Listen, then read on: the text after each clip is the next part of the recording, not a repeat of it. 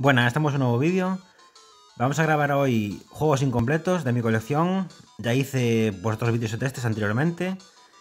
Vamos a mostrar ahora algunos más que tengo pendientes. Otros ya los estoy completando. Pero bueno, vamos a empezar por este Tortugas. Es el primero de, de NES. Es el PAL-B, el español. Tengo caja, juego y me falta el manual.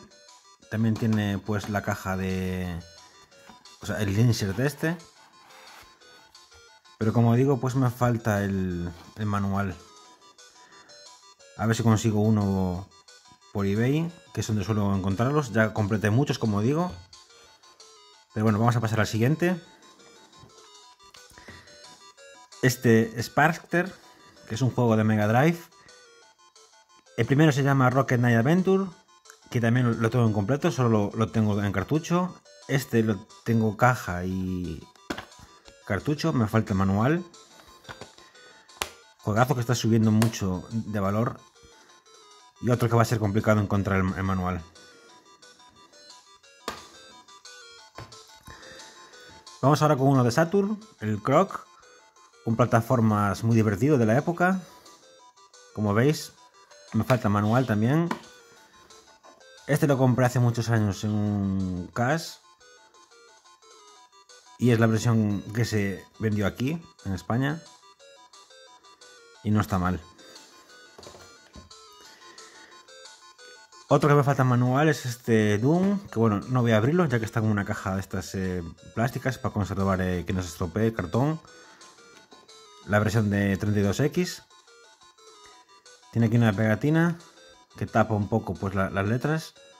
Pero bueno, es la, versión PAL y como digo, tiene caja, insert, cartucho, pero le falta el manual.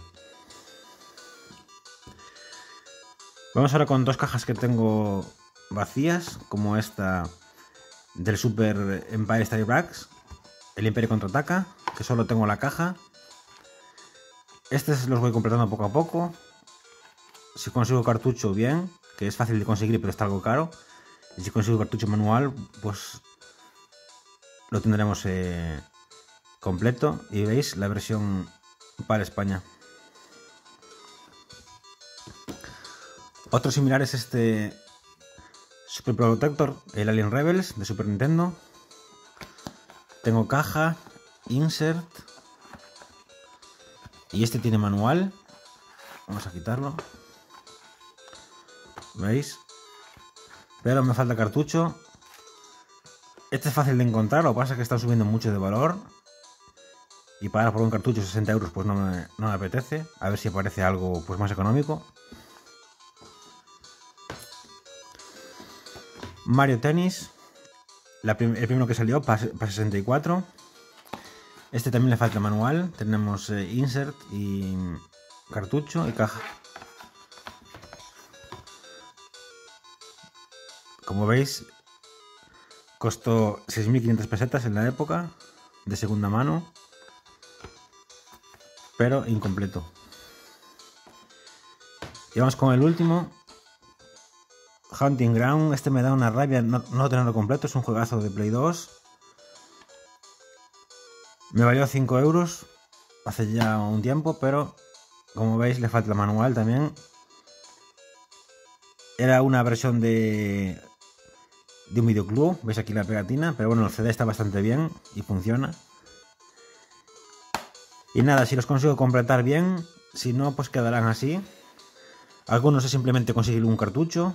Lo que pasa es que están muy caros. Iré pues poco a poco viendo eBay o páginas eh, similares.